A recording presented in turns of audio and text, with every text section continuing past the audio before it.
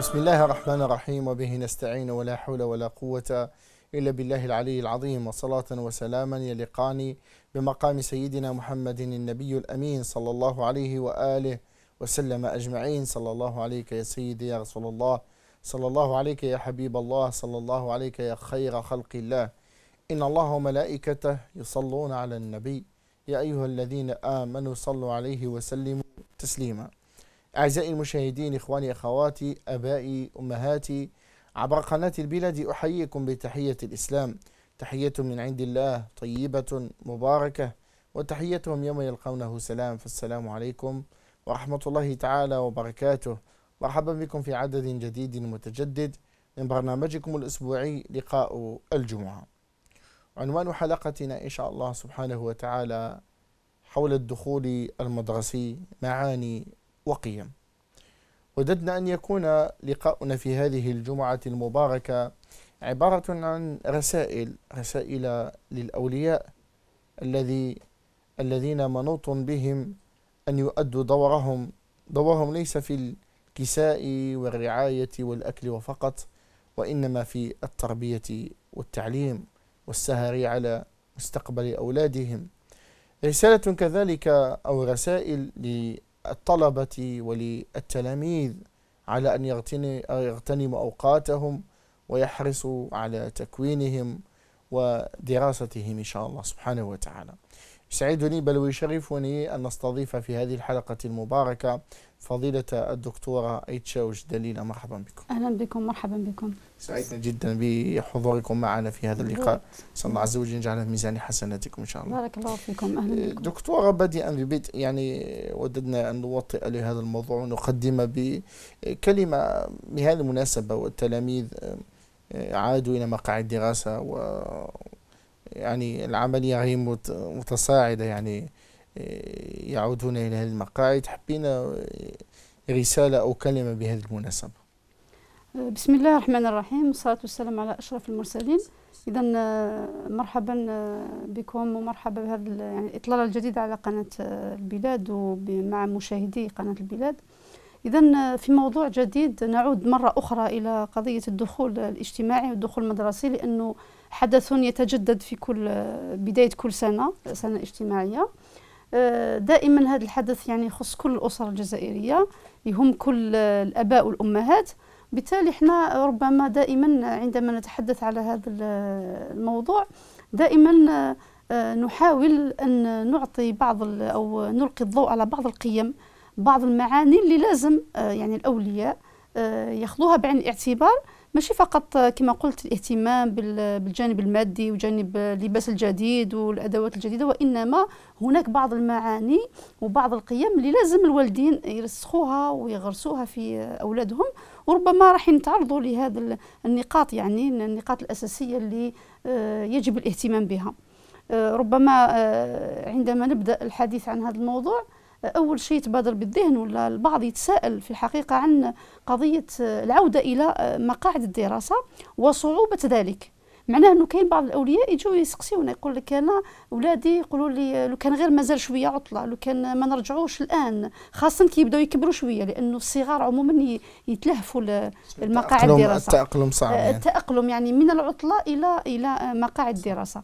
اذا إحنا ماذا بينا نتكلموا على هذه النقطة نوضحوا ربما الأسباب علاش من الصعب أننا يعني يعني نولفوا ولا كما نقولوا نلقاو القبول ولا نلقاو الاستقبال الجيد لهذا الدخول الاجتماعي. لماذا من العطلة مباشرة إلى الدخول الاجتماعي يأتي تكون هناك صعوبة؟ علاش؟ لأنه ربما في هذه العطلة ما فهمناش معنى العطلة الحقيقي. العطلة كما نقولوا هو تعطيل تعطيل لأمر معين. عطلة نعطل ماذا؟ الأمر الواحد اللي الوحيد اللي نحبسه يعني نحبسوه في العطلة هو التوقف عن الدراسة. فيما يخص العطلة المدرسية هو التوقف عن الدراسة بالنسبة للشخص العامل الموظف. العطلة بالنسبة له هو التوقف عن العمل الوظيفي تاعو فقط. ما نعطلوش حنا النظام وما نعطلوش بعض الأمور اللي لازم يقوم بها الإنسان. ما نعطلوش مثلا ربما بعض الأعمال اللي لازم يقوم بها الطفل أثناء العطلة. معناتها التوقف عن الدراسة فقط. أما الفوضى العارمة لأنه حنا واش ماذا نشهد في العطلة؟ نشوف أنه العطلة تعني الفوضى.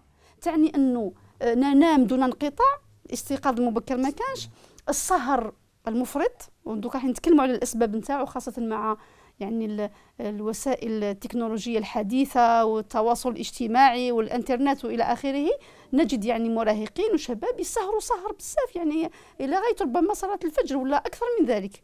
ومن بعد يناموا في يناموا صباحا. يعني العطلة هنا ماهيش فوضى. ماشي معناتها ترقد وقتاش حبيت وتسهر كما حبيت وتنوض وقتاش حبيت. وإنما العطلة هذه نتوقف عن الدراسة. وإنما بعض القوانين لازم تبقى. ما لازمش نغفلوا عليها. إذا كان حنا العطلة هذه رجعت كأنها آه، نفعل ما نريد في وقت ما نريد وكيف ما نريد. معناه أنه بعد آه، يعني وصول تاريخ الدخول المدرسي يكون هناك تغير مباشر. يعني هناك صدمة بالنسبة للأطفال. وبالتالي يقول لك ما نقدرش أنا هذه المدرسة بزاف ونوض صباحا ونروح نقرأ ونولوا للجدية. إذا نحاول أن نحافظ على الجدية أثناء العطلة. ماشي معناتها يبقى القانون صارم وإنما نتوقف عن الدراسة نعم ولكن السهر المفرط لا. النوم آه لوقت متأخر يعني صباحا لا. آه، القيام ببعض الأعمال الرياضية لازم يتواصل في في العطلة الصيفية. هناك الترويح الجماعي مع العطلة مع أفراد العائلة. آه، الاستعمال المفرط للألعاب خاصة هذه الألعاب الإلكترونية والهواتف لازم كذلك نديروا له حد لأنه هذا هو اللي يخلي الدخول الاجتماعي صعب.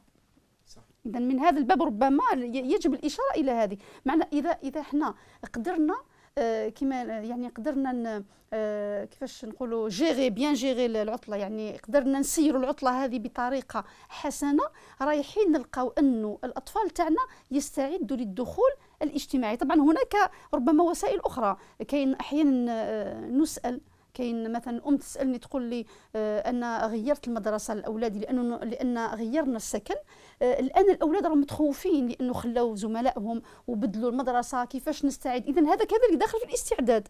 داخل في الاستعداد. اذا الأم هنا مثلا آه في حسب هذه الظروف تهيئ أولادها لأنه آه تحكي لهم أنه تغيير المدرسة أمر عادي وأنا كنت صغيرة وغيرت المدرسة ولقيت أصدقاء جدد ولقيت مدرسين جدد ولقيت تعليم أحسن ولقيت مدرسة أحسن. اذا هذا هذا التشويق هذا يخلي المشكل هذا يروح. مثلا حتى قضية الأطفال كيكونوا أصغر. قضية رايحين نشريو لباس جديد رايحين نشريو أدوات جديدة الأطفال يحبوا هذه الأمور. هناك من نوع من البهجة.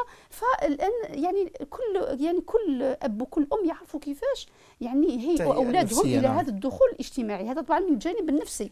دكتورة بذكركم الأولياء يعني نعم. نقدر نقول يعني الهم الأكبر الذي يؤخذ هو على عاتق الأولياء بل نعم. أكثر من التلاميذ يعني بحد ذاتهم. حبينا نوجه رسالة للأولياء يعني على الهم الذي يجب أن يكون عند الأولياء. لأننا نجد واحد الظاهرة في المجتمع أن غالبية الناس والأولياء ربما تجد فيهم نقص نوعا ما من جانب المسؤولية. تجدهم مثلا يسهر على اللباس والطعام وكذا وكذا لكنه متغافل عن آه، دراسة أولاده وعن تربيته وكذا وكذا. حبينا نوجه رسالة باش الأولياء يعون حق الوعي آه، دورهم المنوط بهم. طبعا المهمة العظمى والكبرى آه، والأهم والأخطر تلقى على يعني هي للأولياء. الأب والأم. حنا للأسف في المجتمع نتاعنا عموما شكون اللي يتحمل مسؤولية أكبر؟ فيما يخص تعليم الأولاد فيما يخص السهر على الدراسة تاعهم هما هي الجانب الأم الأم خاصة. هذا واقع موجود. لا نستطيع أن ننفيه. وبالتالي آه، إحنا ماذا بينا أن المسؤولية يتقاسمها الأب والأم خاصة في بعض المراحل الحرجة. كي يبدا الطفل يوصل لسن المراهقة يعني يبدأ يتجاوز 10 سنين 12 سنة 13 سنة هنا الأب لازم يظهر في الصورة. حتى وإن كان غائب إلى حد ما حتى وإن كانت الأم الأم من شدة حرصها على على الأولاد كأنها تغيب حتى هي تغيب بإرادتها دور الأب. لأنه راهي هنا في كل مكان. راهي في كل وقت موجودة في كل مشكل هي موجودة. إذا كان مشكل في المدرسة هي اللي تروح. إذا كان يعني هذا هذا الرعاية الفائقة تخلي دور الأب يغيب نوعا ما. اذا الوالدين كيكونوا مع بعض يعني يراعيوا الطفل مع بعض الأب والأم. الأم لازم تخلي الأب يلعب دور. وبالتالي كيكونوا مع بعض يكون هناك إحساس بالأمان من طرف الطفل لأنه الأب موجود والأم متواجدة. خاصة في بعض المراحل الحرجة. يعني مرحلة المراهقة لازم الإبن يحس بهذا التواجد. يعني عندما نتحدث على الأولياء بصفة عامة هذا التواجد ما يكمنش فقط في قضية إيجاد الوسائل المادية من اكل وشرب وشراء الأدوات ويعني البحث عن مدرسة ربما جيدة للطفل وإلى آخره وإنما هناك رعاية من نوع خاص هناك مسؤولية هناك رسالة لازم نوجهوها للأولياء. هذه الرسالة يعني نابعة من حديث النبي عليه الصلاة والسلام. كلكم راع وكلكم مسؤول عن رعيته. اذا هذه الرعاية هذه هذه المسؤولية لازم نتحملوها كما يجب. كيف نتحملها لازم نفهموا أبعاد هذا التعليم الذي نريده لأبنائنا. إحنا إذا كان افتقدنا شيء إذا كان إحنا إذا كان الوالدين ما عندهمش الوعي الكافي باش يوجهوا أولادهم آه، بطريقة معينة في هذه الحياة. آه، هو لن يعطي هذا لأنه فاقد الشيء لا يعطيه. أيوة. اذا إحنا نتكلموا على الوعي اللي لازم نبثوه في أولادنا. قبل ما نبثوه في أولادنا لازم إحنا يكون عندنا. واش لازم يكون عندنا؟ لازم يكون عندنا تقدير للعلم.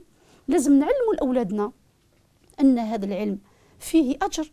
ان أننا نتعلم لأننا نبتغي الأجر من الله تعالى. نتعلم لأننا نريد أن نخدم هذا المجتمع. هنا ربما نشير إلى بعض الرسائل السلبية اللي يوجهوها الوالدين يوجهوها الوالدين ويوجهوها المعلمين أحيانا بعض المعلمين. يوجهها كامل المجتمع. الشارع هو انه قرا باش تروح لهيه أقرا باش تخرج.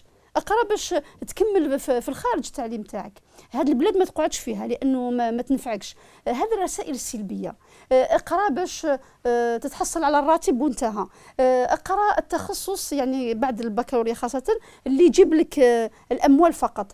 دير هذه باش ربما يكون عندك مكانة معينة فقط في المجتمع كاين الناس اللي يثبتوا حتى على الدراسة يقول لك روح تخدم يعني ولا تقرأ المهم إذا كان أو ما خدموا والو كاينين نعم. اللي حبسوا القراية نجحوا أكثر يعني طبعا هذه هذه حالات موجودة نعم. ولكن الرسائل السلبية هذه هي اللي تخلي هذا الطفل المتعلم سواء في المستوى الأدنى معناتها الابتدائية المتوسطة الثانوية ولا في الجامعة تخليهم ينظروا للعلم هذا مجرد تلهية مجرد وسيلة للوصول إلى مغنم مادي معناتها راتب ولا مجرد وسيلة باش نحصل على الشهادة تلقى طالب يعني سبحان الله يجي يسألك يقول لك أنا كي يكون عندي la licence هذه est-ce que عندي حق باش نروح للخارج؟ est-ce que عندي حق كي نكون سنة أولى سنة ثانية باش نروح نسجل في دولة أخرى باش ندير كذا؟ اذا كل الاهتمام يعني الأغلبية للأسف كامل آه، آه، يعني مهتمين باش كي نكمل وين نروح. كي نقرأ سنة أولى واش نقدر ندير؟ est-ce que نقدر نروح ولا ما نقدرش نروح؟ أسك هذا التخصص يسمح لي باش نكمل في الخارج ولا ما يسمحليش؟ راكم تقروا مثلا حقوق مثلا في الكلية تاعنا حقوق باللغة العربية. أسك نقدر كي ندير حقوق نقدر ننتقل إلى الدولة كذا ولا دولة كذا باش نكمل. اذا هذا الفكر هذا من أين جاء؟ جاء من توجيه الأولياء رقم واحد وجاء من توجيه حتى بعض المعلمين وبعض الأساتذة. أحيانا نسمع أنه الأستاذ يقول لك هو بالذات يدير رسائل سلبية للمتعلم. ما يشجعوش يقول له لازم تقرأ باش تبدل ولازم تقرأ باش تقعد في بلادك ولازم تقرأ باش تغير. إحنا إذا كان ما علمناش ولادنا هذه المفاهيم شكون راح يعلمهم هذه المفاهيم؟ إذا إذا كان إحنا ربما رانا نعيشوا في هذه المرحلة هذا الحراك الاجتماعي اللي راه موجود اللي نعتبره ربما فيه إيجابيات كثيرة جدا رغم بعض بعض سلبيات ولكن أعظمه إيجابيات. من بين الايجابيات انه الشباب نتاعنا اكتشفنا أنه شباب واعي اكتشفنا أنه يقدر يحقق المعجزات اكتشفنا أنه عنده إرادة. وبالتالي إحنا باش نغذيو هذا هذا الجانب هذا لازم نعلم اولادنا نقول له قرا باش تقعد في بلادك اقرأ باش تغير المجتمع تاعك الطبيب هذا اللي راه يقرأ الطب هذا الطالب تاع الطب اقرأ باش تقعد هنا تخدم تخدم في المستشفى باش تداوي الناس باش كذا. ما لازمش يكون برونشي فقط في للفائدة الشخصية نتاعو. نعم هناك مثبطات هناك ظروف قاسية هناك يعني بعض الناس ما يشجعوش بعض المسؤولين لا يشجعون حقيقة هذا موجود. ولكن رغم ذلك لازم نربيو أولادنا على أنهم راهم هنا وراهم من هذا المجتمع ويبقاو هنا باش يغيروا هذا المجتمع لأنه إذا كان هربنا كامل. من لهذا المجتمع؟ اذا هذه المعاني شكون راح يغرسها في اولاده يغرسها آه، ولي الأمر تاعو يغرسها الأب تغرسها الأم. ولكن إذا كان الأم والأب فاقدين هذا الشعور ما عندهمش هذا الوعي آه، كيفاش راح يغرسوا؟ اذا فاقد الشيء لا يعطيه. اذا من المعاني التي يجب على الأولياء أنهم يغرسوها في أولادهم هذه المعاني. آه، معاني حب الوطن معاني العلم من من أجل ابتغاء الأجر ومرضاة الله تعالى لأنه العلم هذا آه، طبعا آه، لا ينبغي أن نغفل على الأحاديث الكثيرة اللي تتكلم على طلب العلم. تتكلم مثلا عندنا حديث النبي عليه الصلاة والسلام من سلك طريقا يبتغي من سلك طريقا يلتمس. فيه علما سهل الله به طريقا إلى الجنة. نعم. سبحان الله. هذا الحديث يعني رائع جدا. وإن الملائكة لتضع أجنحتها لطالب العلم رضا بما يصنع. بارك الله فيك. اذا هذو أحاديث وش معناها؟ وش هو البعد نتاعها؟ هو أنه طلب العلم نعتبروه عبادة وبالتالي إذا كان إحنا علمنا الأطفال حتى في المدارس حتى في المدارس نعلمهم هذه المعاني. يولي يقدر العلم. وما يوليش يقول لك هذا فقط آه، أقرأ ولا ما تقراش كيف كيف آه، انجح ولا ما تنجحش كيف كيف أقرأ اعتمد على نفسك ولا دير ولا آه، اعتمد على الغش كيف كيف. هذه معاني سلبية للأسف الشديد. أول واحد يرسخها في الطفل هو الولي نتاعو هو الأب أو الأم. اذا هذه المعاني معاني كثيرة في الحقيقة. لازم على الأولياء يتحملوا المسؤولية لتغيير لتغيير هذه المفاهيم من بينها مثلا حتى أنه آه يعني حديث النبي عليه الصلاة والسلام عندما آه فيما يخص مسؤولية الآباء على يعني الأبناء عندما يقول كفى بالمرء اثما أن يضيع من يعول. التضييع ماشي فقط تضيعوا مثلا أنه ما تعطيلوش ما تشيلوش الأكل ولا ما تلبسلوش. التضييع حتى في في الوعي. عندما لا يوجه الأب الطفل نتاعو وما توجهش الأم الطفل تاعها وتشبعهم بهذه المعاني من سيشبعهم بذلك؟ إذا كان إحنا ما ما ملأناش الفراغ الموجود عند الطفل بهذه المعاني القيمة وبهذه القيم راح تمتلئ بقيم أخرى سلبية.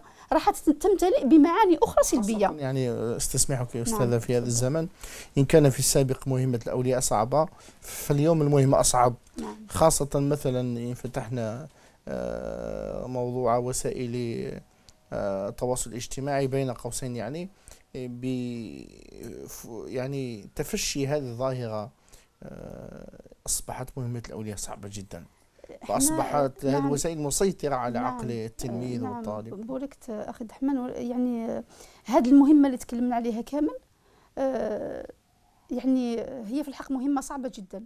لكن إذا أضفنا هذا التحدي الآخر اللي تكلمت عليه هو قضية تحدي تطور هذا التكنولوجي نعم. وهذا هذا الوسائل التواصل الاجتماعي والهواتف هذه اللي أصبحت يعني أصبحت منتشرة أصبحنا لا نكاد نرى تلميذ آه، لا يمتلك هاتف. سبحان الله. وهواتف ماشي هواتف أي هواتف. الهواتف اللي تسمح له بالتواصل الاجتماعي والهواتف اللي تسمح له ب, آه، يعني الاتصال بشبكة الإنترنت إلى آخره. اذا هذا تحدي آخر.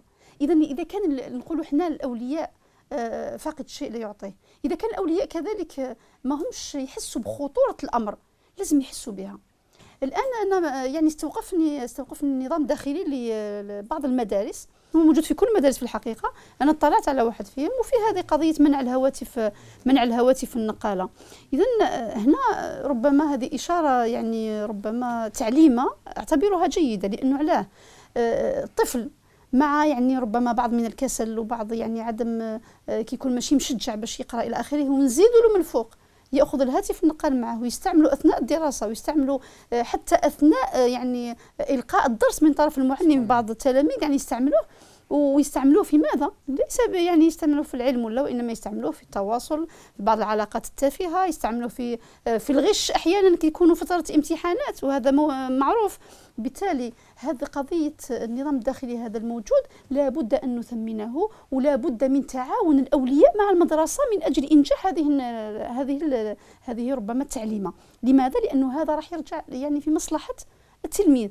هنا ربما البعض من الأولياء يقول لك صعب من الصعب جدا أن تمنع الطفل يأخذ الهاتف نتاعو. هنقول هو قضيه تعود وعادة. اذا علاش؟ لأنه بعض الأولياء يخضعوا للتهديدات الطفل ولبكائه ولإصراره وكذا لكن إحنا ما لازمش نفشلوا لأنه علاه. إحنا يعني أنا عندما يعني نعطي هذه النصائح في الحقيقة رانا كامل معنيين بها. آه أنا أم والمنشط آه راهو أب على باله باللي راهو جاي يعني ربما راح آه عندما يكبروا الأولاد تتعرضوا لنفس نفس هذه المشاكل. اذا علينا على الأب وعلى الأم انه يكون عندهم إرادة في منع الولد. أنا يعني نصيحتي نصيحتي أنه في الحقيقة الأطفال الابتدائي المتوسطة والثانوية لا داعي لشراء الهواتف لهم. ربما البعض يسمع يقول لك c'est trop tard c'est pas trop اذا لابد من سحب الهواتف من الأطفال حتى خليه للجامعة عندما يكبروا يتحمل المسؤولية ما توليش عندك رقابة شديدة عليه وإنما في المراحل هذه خطير جدا. اذا مع كل الظروف اللي تخليه ما يدرسش الظروف اللي تثبطوا ونزيدوا له الهواتف النقالة ونزيدوا له الإنترنت ونزيدوا له واش نزيدوا له وسائل اللعب الأجهزة نتاع اللعب هذه صباح مساء متى يدرس الطفل؟ اذا هذا ربما الأمور اللي تكلمنا عليها من قبل دون هذا التحدي نتاع الأجهزة الإلكترونية. مع هذا التحدي هذا تحدي آخر وأخطر. وبالتالي إحنا نقولوا أنه لابد على الأولياء أنهم لازم يعيوا هذه الخطورة هذه. ولازم آه، ربما آه، يعني يضفروا الجهود مع مع المدرسة لكي يحافظوا على أولادهم خاصة من خطورة هذا نعم. الجانب. دكتوره إذا كان للاولياء يعني مسؤولية كبيرة فكذلك للمعلمين والمدرسين كذلك مسؤولية أكبر خاصة داخل الحرم تاع المدرسة ولا الجامعة ولا كذا وكذا. ففي الحقيقة المعلم والمدرس له مسؤولية عظيمة. طبعا هي مكملة لمسؤولية الوالدين. الحمد لله. عندنا الوالدين في البيت وعندنا أب ثاني أو أم ثانية في المدرسة. هذا طبعا لمن يعي دوره. المعلم والأستاذ اللي يشوف أنه المهنة تاعو هذه مجرد مهنة راهو غلط. صح. المعلم والأستاذ اللي يشوف المهنة تاعو دارها فقط لأنه ما لقاش مهنة أخرى ولا دارها باش يستنى راتب في آخر الشهر وكفى راهو غلط. لأن المعلم كاد أن يكون رسولا. كاد المعلم أن يكون رسولا. الحديث حديث النبي عليه الصلاة والسلام عندما يقول إن الله سائل كل راع عما استرعاه حفظ أم ضيع؟ اذا راح يسألنا الله تعالى يوم القيامة. يسأل هذا الأستاذ لأنه مسؤول على بشر مسؤول على أطفال صغار مسؤول باش يكون لهم الشخصية آه، تاعو مسؤول باش يزرع فيهم القيم. وبالتالي إذا كان هو ضيع الأمانة اذا حنا اولادنا وين وين نحسوا بالأمان؟ كي نخلوهم وين؟ نخلوهم في المدرسة. إذا كان اليوم كامل هما مع أستاذ لا يعي هذه المسؤولية. إذا كان راهم يوم كامل مع أستاذة ما تفهمش واش معناتها الأمانة وتضيع هذه الأمانة. اذا آه، كيفاش يمكن لنا أن نحقق الهدف من هذا التعليم؟ هذا هو التساؤل ربما اللي لازم نسألوه. هل أولادنا راهم في أمان؟ اولا هل راهم في أمان عندنا إحنا في البيت إذا كان إحنا عندنا وعي؟ هل راهم آه، في أمان في المدرسة؟ اذا لابد أن يعرف الأستاذ اول رساله نوجهها له أن يحفظ الأمانة لأنها مهمة بزاف لأن الله تعالى سوف يحاسبه عليها. ثانيا الرسالة الأخرى التي آه، نوجهها للمعلم أن يتعامل مع التلاميذ على قدم المساواة. ما يفضلش واحد على واحد وما يتعاملش فقط مع النجباء. كاين هذه قاعدة ملي كنا صغار نشوفوها. صح. المعلم يتعامل مع اللي يجاوب دائما الإجابات اللي راهو عنده معدل مرتفع وما يكسرش راسه مع بعض التلاميذ لازم المعلم رسالة أخرى أنه يراعي الفروق الفردية الموجودة بين التلاميذ ماشي هذاك يقول له أنت غبي والأخر يقول له أنت مجتهد وأنت كذا. يحطم له المعنويات. كاين بزاف أولاد قاطعوا الدراسة. كاين التسرب المدرسي نسبة كبيرة منهم السبب يعود إلى المعلم اللي ما عرفش كيفاش يتعامل مع الطفل. المعلم رسالة نوجهها له. كن ابا في المدرسة.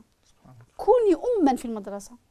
أنت عندك أولاد ربما وبالتالي عامليهم كما تحبي اولادك يعاملوا في المدارس. وبالتالي إذا كان حسينا يعني. كما تدين تدان. ولا يؤمن المؤمن طبعا لازم يحب واش يحب لنفسه؟ يحب لنفسه. ما يحب لنفسه. يحب لأخيه ما يحب لنفسه. اذا حنا كي نتعاملوا مع مع هذا الأطفال هذو هما يعني فيهم براءة. وأطفال هذو أمانة عندنا. إذا كان حنا تعاملنا معهم بهذه الطريقة وراعينا الفروق الفردية هذا طفل يستوعب بسرعة هذاك ما يستوعبش بسرعة. نراعيوه له بالعقل ونخاف الله تعالى في كل هذا. إذا إحنا راعينا هذا الجانب نكونوا فعلا نكونوا قدوة. الرسالة الأخرى اللي نقدمها للمعلم أن يكون قدوة. إذا كان يعلم للأولاد يديروا نصوص في الأخلاق ونصوص في آه، تحمل المسؤولية ونصوص في الأمانة ونصوص في الصدق وهو التلاميذ يشوفوه ما يحفظش الأمانة يشوفوه يجي متأخر. طبعا نتكلموا على كل المراحل آه ابتدائي متوسط ثانوي والجامعة. حتى إذا كان هو يقول لنا كاين نظام وكاين كذا وكاين حفظ أمانة وهو ما يحفظش الأمانة. إذا كان هو يتأخر إذا كان هو يخرج قبل الوقت إذا كان هو يقعد ربما يعطي لهم تمرين ولا ما يعطي لهمش ولا يقولوا رب في, في الإبتدائي هذه ربما نذكروها كي كنا صغار يقول لك ربع الأيدي ولا حط راسك فوق الطاولة وهو راه مشغول بأمور أخرى. هذا طبعا لا يجوز لا يجوز لا اخلاقا ولا ولا شرعا.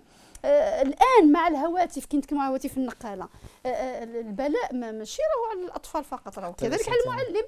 كثير من المعلمين يتواصلوا اجتماعيا يتواصلوا في التواصل الاجتماعي ويضيعوا الوقت والتلاميذ راهم يستناو بدون دراسة. هذا موجود فعلا. اذا رسائل مهمة نوجهها لهذا الأستاذ لهذا المعلم. لابد له من غرس القيم في هذا الأطفال هذو. لماذا؟ لأن غرس القيم ما توقفش على الأم وعلى الأب وإنما تتواصل إلى المدرسة. طيب هذا هو يعني كأولياء وكمعلمين نعم. وحتى كإداريين نعم. ومسؤولين. بارك الله فيك أستاذة على هذه الكلمات النية نسأل الله عز وجل أن ننتفع بها إن شاء الله. ربي يبارك فيك. إخواني أخواتي آبائي وأمهاتي ها قد وصلنا لختام هذا العدد من برنامجكم لقاء الجمعة. أسأل الله سبحانه وتعالى أن نكون استفدنا مما فيه من العبر والعظات والفوائد الجمة إن شاء الله. وعيدنا معكم يتجدد الأسبوع القادم إن أحيانا الله عز وجل. إلى ذلكم الحين. استودعكم الله الذي لا تضيع ودائعه. السلام عليكم ورحمة الله تعالى وبركاته.